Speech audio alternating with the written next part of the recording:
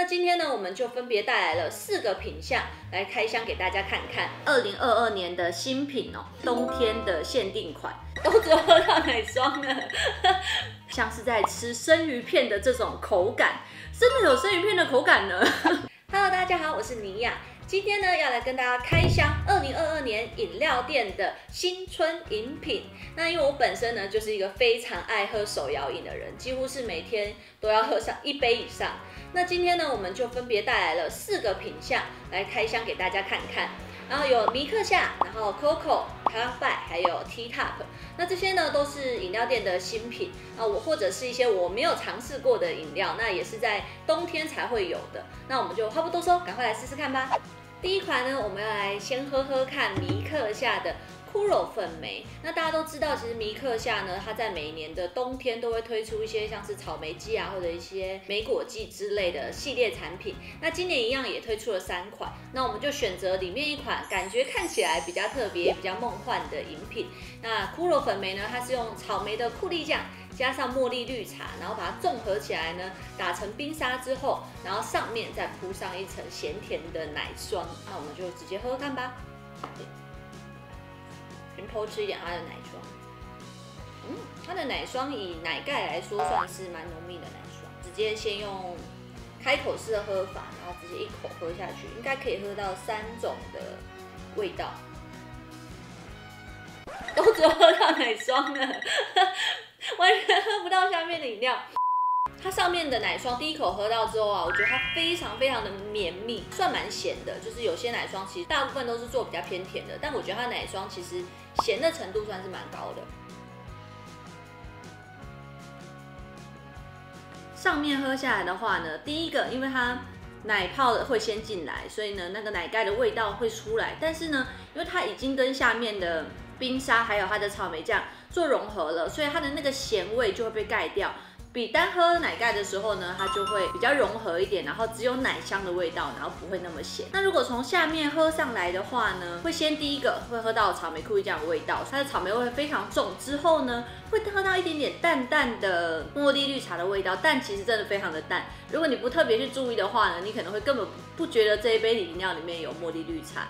然后接着呢，最后进来的就是奶盖的味道，但其实它奶盖的味道呢就会变得比较重，然后咸味会比较出来一点。就如果奶盖它是最后一个进来的话，所以其实从上往下喝跟从下往上喝，喝起来的感觉跟口感是完全不一样的，大家也可以试试看。那总结来说呢，其实我觉得，因为我本人是一个非常喜欢喝米克夏的人，但其实这一款来说，我没有到那么的喜欢，因为呢，它是用草莓库利酱去做成的，那它就没有办法喝到就是草莓果肉的感觉。那我就就觉得是稍微差了那么一点点，所以呢，嗯，我给它的评价大约是七分左右吧。好吧，那我们就接着看看其他的饮料吧。第二杯呢是康拜的港式厚奶。这港式厚奶呢，也是康拜二零二二年的新品哦。一般来说，这个港奶呢，就是茶味比较重的茶，然后呢配上炼乳，然后只综合而成的。那这边它比较特别一点，它是使用淡奶。那淡奶又是什么东西呢？它其实就是不用加糖的炼乳，所以喝起来呢，就是女生啊就比较不用害怕会变胖。那话不多说，我们就赶快来品尝看看吧。嗯，喝下去的第一个感觉呢，其实它会有非常重的炼奶的味道。它虽然是淡奶，但是它也不会把你的奶味直接让它变淡，然后冲淡的感觉，还是有非常浓厚的这个炼奶的味道。那接着呢，茶味就会进入你的口中，然后混合起来。但是呢，它的茶味在最后一点点，其实是有带一点苦味的。整杯喝起来呢，就不会是那种很浓厚，然后很甜、很腻的这种港式厚奶。喝起来呢，其实还蛮清爽的。以港奶来说，算是我蛮喜欢的一个品相。就是毕竟我也喝过蛮多的港奶的，就是如果去夜市啊，或者是去餐厅，基本上呢是一定会点一杯港奶来喝的。那这杯的给我评价大概可以到八点五颗星吧。嗯，我觉得它算是港奶里面不会太甜，然后茶味也不会过于的抢戏。那所以我觉得这杯算是蛮好喝的。那我们就直接进入下一杯吧。第三杯呢，我们要来品尝的是 Coco 的红豆珍珠鲜奶茶。那我们本来是没有要买这杯饮料的，因为呢，其实我们当时有看到的是 Coco 有推出一款新品，叫做黑糖波波奶茶。那结果没想到，我们今天拍摄当天去购买的时候啊，就是他告诉我们在跨年的当天呢，黑糖波波奶茶就已经被卖光了。于是呢，我们就询问一下店员，那他们最近的新品是什么？然后他就推荐给我们这一款，就是红豆珍珠鲜奶茶。我有上网去查过，其实好像在二零一八年上下的时候呢，就已经有这款饮料了。不过呢，它应该是冬天的限定款。看到网络上的评论呢，说有人每天都需要喝一杯这个饮料。所以我也蛮好奇，它到底究竟有多好喝，可以让人家天天都去买。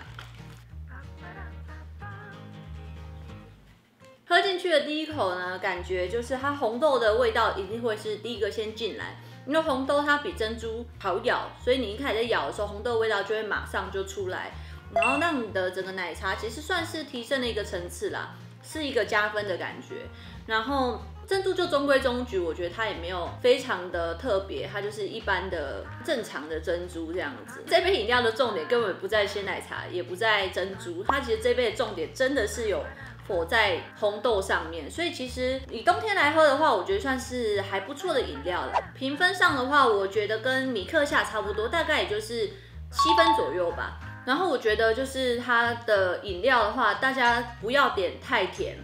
因为我觉得它本身的红豆的味道还有珍珠味道已经够甜了，所以像我这边是点半糖的吧，那我就觉得它其实不适合再更甜了。因为再更甜的话呢，你就就会让你这杯的饮料变成非常的腻，就是奶茶味道也过重，然后加上红豆跟珍珠太多太重的味道加在一起，其实我觉得可能就不是那么的好喝。好了，那我们就进入最后一杯，也是今天最特别的饮品吧。最后一个品相呢，是来自 T Top 的二零二二年新品 Wasabi QQ，也是我们这次拍摄的重点压轴。因为当初呢，我就是在网络上，然后呢，无意间这样翻着翻着，看到了这个 T Top 的饮料新品，我简直惊呆了。当时就想说，怎么会有这样子的饮料出现在这个饮料店里面？就是太创意料理了吧？然后呢，我就想说，我们就要来制作一集，然后顺便来品尝看看。而且呢，它网络上的官宣呢，还说，因为呢，它是用茶冻啊、珍珠这些，然后配上浓厚的奶茶，再加上 wasabi，所以呢，你就会感觉到你像是在吃生鱼片的这种口感，实在是太让我惊艳了。我也真的很想要试试看。然后我们就话不多说，赶快来品尝看看吧。顺便跟大家说一件事情，就是呢，其实我本身是不敢吃瓦萨比的，所以呢，我也很好奇这个喝起来会是什么样的一个感觉。因为我非常的爱喝奶茶，但是我非常讨厌瓦萨比。那究竟他们综合起来呢，会蹦出什么样的滋味呢？非常的紧张。嗯。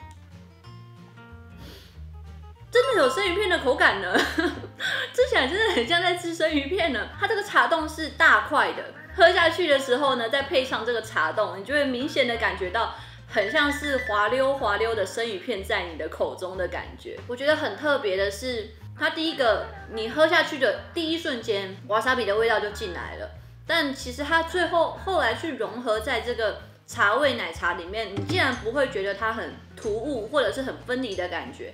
很难想象瓦萨比竟然可以跟奶茶一起喝下去，而且不会到觉得很奇怪，就是还让我蛮惊讶的耶。本来以为它会难喝，但是其实没有想象中的那么难喝。我觉得综合评价下来呢，以一个不敢吃瓦萨比的人来说，它其实还是有在我的及格范围内啦。就是我觉得它大概就是六点五分吧。那这是一个很特色的创意饮品，然后大家如果有兴趣的话呢，其实也可以自己去买来试试看，因为它一杯这样子这种杯一杯五十九块，我觉得没有到很贵，大家可以尝鲜看看。好了，那今天呢，我们品尝了四杯这个二零二二年的算是新春的饮品啦。那 其中最特别的，让我印象最深刻，当然是我现在手上的这一杯，就是 Wasabi QQ。今天让我最惊艳，觉得最好喝的，应该是港式厚奶，就是真的让我蛮惊艳的，没有到负担很重，然后喝起来却又有想要的那种茶味以及它的炼奶味，呃，其实都算是非常的到位。所以今天如果我要排名下来的话呢，我第一名会给这个。康拜的港式厚奶，那第二名呢，我会给这个米克夏的库玛粉梅，然后第三名呢，就会是以 Coco 的红豆珍珠鲜奶茶，呃，我觉得这款料理它比较像是一个创意料理啦，所以如果你要我再去做回购的话，可能几率是最低的。不过也算是一个蛮特别的新品，所以第四名的话，的话就是我们的 T Top 的 Wasabi QQ。那这就是我们这一次呢饮料的综合排名，还有品尝的一些小心得喽。那如果大家有喜欢的话呢，也可以自己去买来品尝看看。有些可能有限定时间，所以呢，大家如果要购买的话，也要记得注意一下时间哦。那今天的饮料开箱就到这里结束啦。如果喜欢我的影片的话呢，记得帮我按赞、订阅、分享、开启小铃铛喽。我们下次见，拜拜。